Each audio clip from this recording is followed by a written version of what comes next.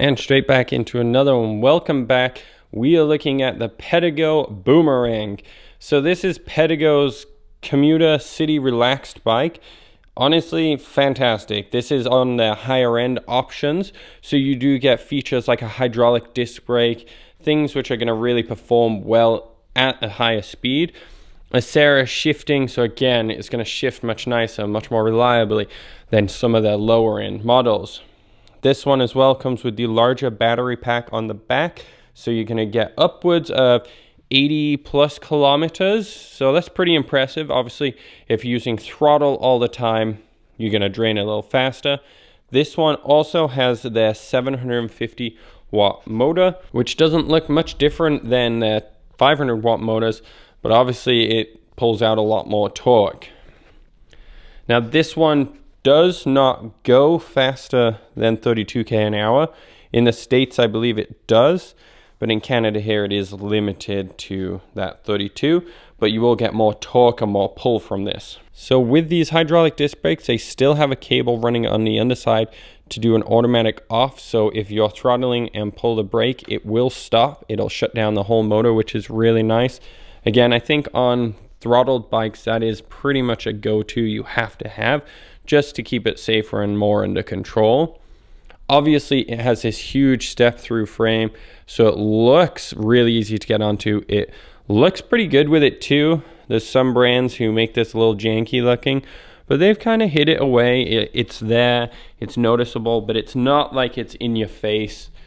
It is kind of a smooth, clean system, so it's really easy to hop on and off. This one has the suspension seat post from Satori. So you're going to be very comfortable over all the bumps as well as the balloon sized tires. So it's going to be as comfortable as it can get for a bike without any suspension. This is a very upright sitting bike. So it comes with this really cool stem to add to the comfort to it where you push a release switch and lift this up. And now you can actually fully modify the position and angle of the handlebars on the fly. Just push it back down until it clicks. So I've completely changed it to a more upright position, which that's the first one I've seen. It also feels pretty secure, pretty safe, which is very key if it's the handlebar, obviously. The locking mechanism makes a nice loud kind of noise to it, so you know that it's worked. Um, and I think this is going to be nice. You could get a little more aerodynamics or a couple could buy this and switch back and forth. It's going to be very easy to find a very comfortable position for both of you. Menu wise is very similar to all of Pedego's stuff. So a very simple on button and then up and down and then you can set a few modes to save, you know, trip meters and stuff like that. Very basic but very simple, clean, clear display and honestly it, it looks good. Shifting is all on the left side um, because you've always got the throttle. So even though it's a rear derailleur in America here, it is on the left side instead of the right. The bike does weigh a decent amount. I haven't weighed it itself, but with that oversized battery and motor, you are looking at a pretty hefty bike all in the back end. Does make it a little more uncomfortable to load into vehicles or push upstairs because all the weight is at the back end of the bike when you're picking it up instead of equally spread. But it, it doesn't make that much of a difference. Pedego has designed and built again another nice bike, American kind of design and backed up, comfy seat, very upright position. This one is going to be a little more powerful on the hills. So if you're a heavier user or you're looking to make sure you're getting up the hills faster and keeping that faster pace, it will do that. Obviously downside to that bigger motor is you will burn through battery more. So you kind of are required to make sure you have the bigger battery. But it's fantastic. Built on fenders and lights, all color matched. Rims are all color matched. The lights are a very nice setup, all LED. Unfortunately, this one is dead, so I can't turn them on for you.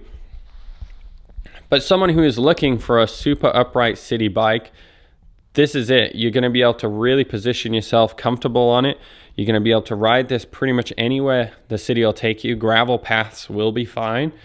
And you're going to be comfy. As well, that super low step over obviously means you're going to be able to climb onto this super easy and climb off it super easy with a clean design and ease of access like that and easy adjustment, it's hard not to pick a bike like this.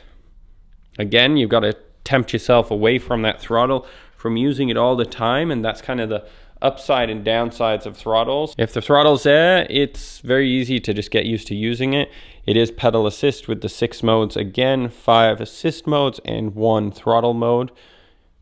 But it's up to you. The electric bike industry is changing and it's not just for people looking for exercise with raising gas prices and blah blah blah. This is actually now becoming more of an option for a commuter. Obviously at $5,000 you have to commit quite a year's worth of riding to really pay this off compared to some of the other bikes by Pedego. But I think you'll like it. Say very comfortable, big seat, seat post suspension, big tires, a good gear range with a reliable shifting set to it, clean looks, easy step through, lights, fenders, racks, and a quick adjust stem with hydraulic brakes. This really is checking all the boxes. There's not many other accessories you could add to it unless you know you're going to need more storage like a front basket or something like that. This is a fully loaded model at just under 5,000 Canadian. And I think someone would like this if uh, if that's what they're looking for. All right, guys, that was a brief overview of the Pedego Boomerang. We have one more Pedego video coming up, and I would stay tuned for that because it's possibly their best-selling model, I believe. Um, so, yeah, subscribe and like and comment. Thanks.